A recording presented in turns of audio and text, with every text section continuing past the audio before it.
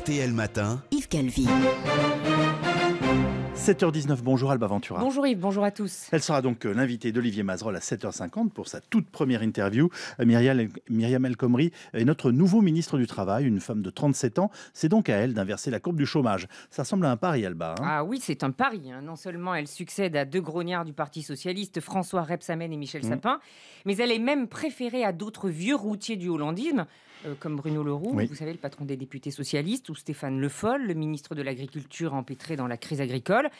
Et elle a quand même même coiffé au poteau Alain Vidalis, l'actuel ministre des Transports, qui au PS avait suivi de près le chantier du marché du travail et des entreprises.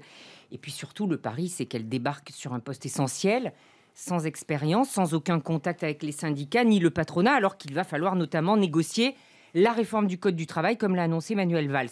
Alors, elle a beaucoup d'atouts, c'est une femme très loyale, et puis surtout, elle est énergique, tenace, directe, et ça, ce sera utile pour les conférences sociales, mais il n'empêche, la marche est haute, et c'est pour ça que c'est un pari. Mais alors pourquoi François Hollande prend-il ce risque? Parce que ce n'est pas le ministre du Travail, Yves, qui inverse la courbe du chômage. Ah. François Hollande pense que c'est lui qui va le faire. Euh, comme la réforme du Code du travail, elle sera d'ailleurs pilotée à Matignon. Vous savez, le président n'a pas besoin d'un acteur en réalité. Il a besoin d'un visage, d'un nouveau visage.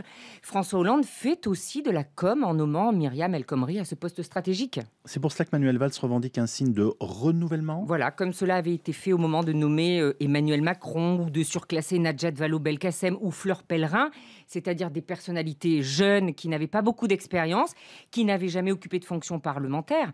En fait, pour Manuel Valls comme pour François Hollande, il y a le souci d'apparaître comme un Premier ministre et un président euh, novateur. En quelque sorte, ils mettent le pied à l'étrier à un nouveau talent.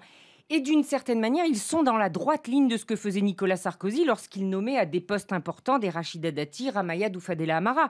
Souvenez-vous, on disait que c'était le gouvernement vu à la télé. Myriam El Khomri est sans aucun doute quelqu'un de très sérieux. Elle est très combative. Mais il y a une forme d'affichage aussi à installer une femme jeune, euh, née à Rabat, d'un père marocain, d'une mère bretonne. Dans cette nomination, la forme compte autant que le fond. Sans compter que vous allez être étonné, mais avec l'arrivée de Myriam El Khomri au gouvernement, François Hollande entre dans l'histoire. Ben oui, figurez-vous que c'est la première fois qu'il y a plus de femmes que d'hommes au gouvernement. En effet, c'est historique. C'est le moment d'ouvrir aussi vos carnets, Alba, avec euh, vos derniers confidentiels. Oui, et à ceux qui se demandaient pourquoi euh, la ministre de l'Éducation, Najat Vallaud-Belkacem, avait manifesté quelques égards pour Alain Juppé au moment de la sortie de son livre euh, Oui. sur l'éducation. Eh bien, une grande figure de la gauche a débusqué l'inspirateur commun aux deux. Il s'agit de François Dubé, qui est un grand sociologue de l'éducation. Alors, la ministre le consulte. Quant à Alain Juppé, ses conseillers ont repris certaines de ses idées. Il faut souligner la proximité bordelaise euh, des deux hommes, puisque François Dubé enseigne à l'Université de Bordeaux. Voilà, ceci explique cela. Alba Ventura.